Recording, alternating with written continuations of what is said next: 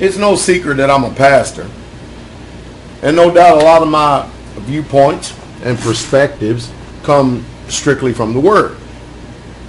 Yet, when it's my opinion, whether it be here on YouTube uh, making a video, or if I'm in the pulpit preaching, or if I'm privately counseling someone, I usually try um, to make sure. And I usually try to make sure that they have my attention when I'm giving my opinion. And some things is, you know, I really just don't need to stop every second to tell you, okay, this is my opinion. You should be able to tell. But it's getting very increasingly difficult in the hour that we're living in now, where people would actually listen to you one, two, three, four years and still not know you like they claim that they do. Um, I'm sure that many of you, you listen to me on YouTube, but you really truly don't know me as a man, especially as a man of Yah, um, as far as behind that pulpit. You know, I have a, a website back here that you can view uh, our church services, if that's what you like to call it. Uh, that's your prerogative. That's your right. You have so-called freedom of speech. Every Shabbat, that means Sabbath day. Um, I'm sure that mean you're not familiar with that, but that's the seventh day of the week. Um, here in America, they call it Saturday. Only one problem though, Saturday is not the seventh day. Saturday is the, a mixture between the seventh day and the first day. Uh, I'm not going to go into giving y'all a theological um, or theological understanding about all of that, but I came here to say this: that it's getting pretty harsh, and the spirit of man is getting pretty cruel. When someone can come on YouTube and not be able to state their opinion or their belief without being um, attacked. I mean, literally attacked because, I mean, have many of you ever thought about why you get so disturbed at some of the things that people say? I mean, there's a few few things that um that I, I've, I've looked at in the past few months, and I literally get disturbed. I really truly do. I can feel that spirit rising up in me, and and but I can tell you the reason why I get disturbed. I get disturbed because of the spirit of collusion, meaning that people refuse to actually check out other people's viewpoints, um, go behind them and see if what they're saying is so, before continuing on in their position or adopting a position against them. Uh, that seems to be the American way. You know, I mean, after all, um, we base truth on what we want, what we want to define it as, and, and of course, we believe that the whole world evolves around us. Sorry to tell you that it doesn't. Um, but people have the right to say whatever they want. But it's amazing in this country right here that, um, you know, I'm, I'm, a strong figurehead. You know, a lot of people uh, listen to me. I actually have more people that listen to me that would not admit it than actually admit it and do. Um, and the reason why, because I'm very raw, uh, brutal, brutally honest, um, and upfront. Um, I, I've been fleeced. I've been toyed around and played around within the religion of Christianity. and at one time, I was very bitter uh, against that particular religion until I started studying and find out that when when someone is lying, just tell the truth. Just expose the truth, and then that way, everyone that is of the truth, they would hear the truth, and then they would walk in it. Sure, everybody's going to um, experience a measure of hatred um, towards uh, Messi, the Messianics and the Christians when they start really truly becoming proactive and start looking behind uh, all the things that they promote, as well as just like in the in the political ring. Um, you don't have to look too far at all to see that every politician up there is a liar. I mean, that's just bottom line. Our history in this country has been so jacked up and screwed up. It's, it's just amazing. I tell you, it's, it's remarkable. I don't know um, where a revival or revolution would come from in this country since the people are just so divided. You know, the machine has done a very good job at conquering us and dividing us. Uh, they've done it on the social, and now they're really working hard on the religious point. And you know, I, for instance, I have no Muslims out there that is my enemy.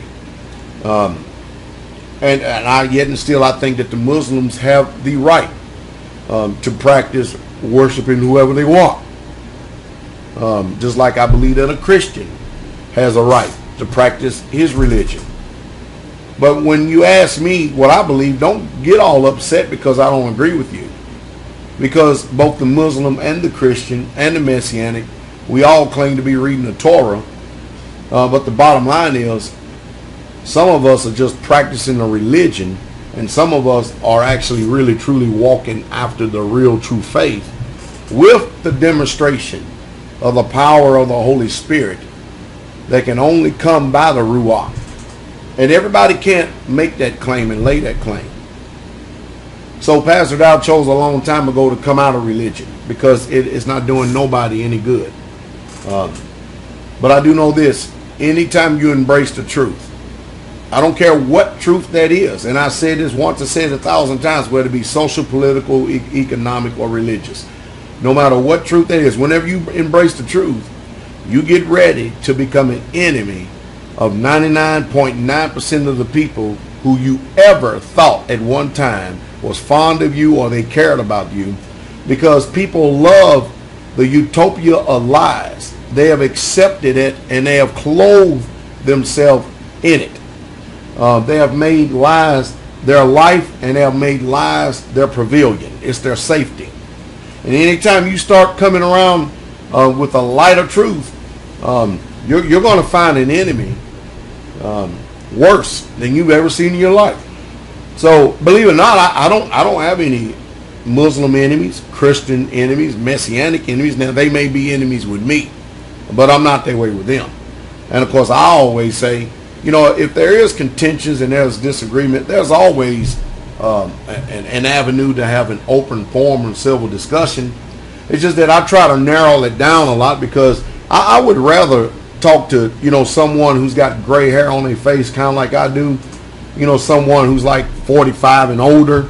You understand what I mean? Someone who's been in this for like um, a minimum 20 years. You know, I would like to talk to someone um, who has a little bit more tact, a little bit more respect, in order just to engage in a civil dialogue, and, that we can have an intelligent conversation and speak intelligently, so that the audience in itself can be able to judge the spirit of truth.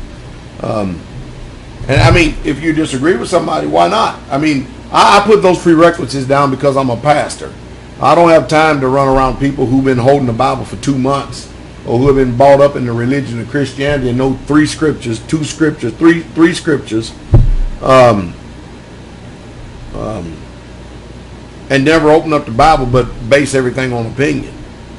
Uh, I don't want to, you know, follow no one who is in their messianic religion um, because all they're doing is practicing Judaism. They're just not telling you. It's just like Christians are practicing Catholicism, Roman Catholicism. It's just that they're not being honest with you. Uh, it makes no difference whether you're Baptist, Methodist, Catholics, Apostolics, Pentecostal. They all say that they're Christians, so they all uh, are coming from the, the Church of Rome. But Abraham, Isaac, Jacob, Moses, David, Solomon, um, Peter, James, John, Jesus, Joshua, none of them were Christians. I know that the uh, Greeks and the Romans they called them that, but that didn't make them that. I mean, people call me all kind of things here in this country.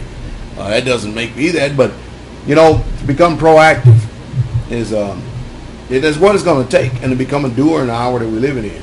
Sure, I'm going to say a lot of things, a lot of things, especially if you follow me on, on that video, live video streaming website. I'm going to say a lot of things that that is flat out you are just not going to like.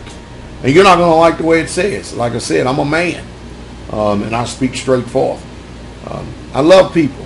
I love people a lot. I, and I don't want to see anybody, um, especially when there's opportunity for truth to be told, I don't want to see them being destroyed for a lack of knowledge no more than I want to see myself destroyed for a lack of knowledge.